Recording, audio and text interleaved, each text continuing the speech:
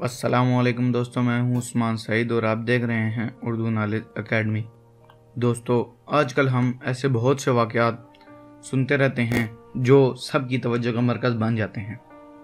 آج بھی ہم جس ٹاپک کے بارے میں بات کرنے جا رہے ہیں، وہ یہ ہے کہ آج سے لگ بھگ تقریباً تین سال قبل انڈونیشیا سے تعلق رکھنے والا ایک بچہ، آریہ پرمانہ اس وقت دنیا بھر کی توجہ کا مرکز بن گیا جب اسے دنیا کا سب سے موٹا بچہ قرار دیا گیا۔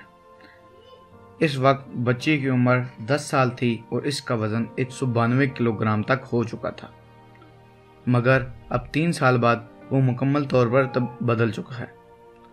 نوڈلز، میٹھے مشروبات اور تلی ہوئی پکوان کھانے کی عادت کی وجہ سے یہ اس بچے کا وزن ایک سو بانوے کلو گرام تک پہنچ گیا تھا۔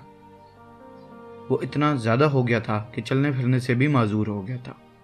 جس کے بعد والدین کو اس کو اسکول سے نکال کر گھر میں اس کی پڑھائی کرانا پڑی۔ یہ جسمانی وزن اس کی زندگی کے لیے بھی خطرناک بن سکتا تھا۔ جس کے بعد یہ دنیا کا سب سے کم عمر فرد بنا، جس کی جسمانی وزن کم کرنے والی سرجری کرائی گئی۔ اس سرجری کے نتیجے میں اسے اپنی غذا پر سخت پابندی لگانی پڑی۔ اور گل فش اور سبزیوں تک محدود کر دیا گیا۔ اس کے نتیجے میں اس بچے کا وزن کم ہو کر ایک سو چھ کلو گرام تک پہنچ چکا ہے۔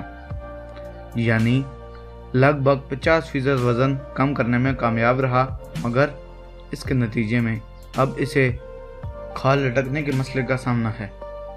اسے ایک سرجن نے اس لٹکنے والی کھال امتحانات کے بعد نکالنے کی پیشکش کی ہے۔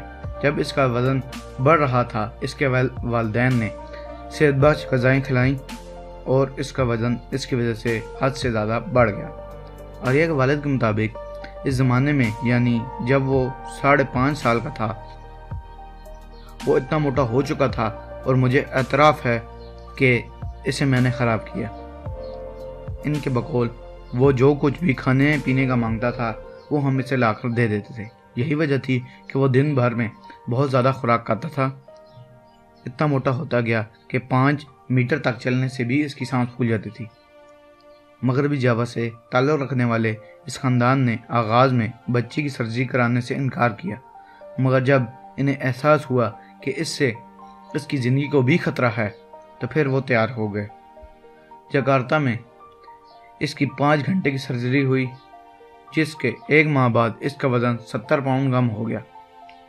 اس میں کمی آتی چلی گئی، مگر وہ بچہ زندگی سے تبدیلی میں سے زیادہ خوش نہیں تھا۔ شروع میں چڑچڑا رہتا تھا، کیونکہ اسے اپنے دل پسند مشغلے کھانے سے دوری اختیار کرنی پڑی تھی، مگر سرجری کے بعد زیادہ کھانے سے اسے الٹی ہو جاتی تھی۔ پھر وہ مچھلی، سبزیوں، سوپ اور پھلوں تک ہی محدود ہو گیا۔ اتنا وزن کم ہو گیا کہ وہ روزانہ اسکول تک ایک میل چلنے کے قابل ہو گیا۔ پھر بھی اتنی توانائی باقی ہوتی ہے کہ دوستوں کے ساتھ کھیل سکتا ہے۔ اب وہ فٹ بالر بننے کا خواب دکھتا ہے جو اس سے پہلے وہ کھیلنے کا تصور بھی نہیں کر سکتا تھا۔ جسمانی وزن میں کمی کے بعد وہ خوش مزاج بھی ہو گیا ہے، جس کی وجہ سے دوستوں کے ساتھ کھیلنے کا موقع ملنا ہے۔ جبکہ وہ پہلے سے زیادہ پر اعتماد ہو گیا ہے۔ مگر جسمانی وزن میں اتنی زیادہ کمی کے نتیجے میں بازو اور سینے پر کھال لٹکنا شروع ہو گئی ہے۔ اس کو توقع ہے کہ ایک اور سرجری سے اس مسئلے سے بھی جاد مل جائے گی۔ تھینکس فار واچنگ دوستو۔ اگر آپ کو ہماری آج کی ویڈیو پسند آئی ہو تو پلیز اسے لائک کریں، کمنٹ کریں اور شیئر کریں۔ اور ہمارے چینل کو سبسکرائب کرنا مت بھولیں اور اس کے ساتھ لگے ہوئے بیل آئیکن کو بھی پریس کر دیں۔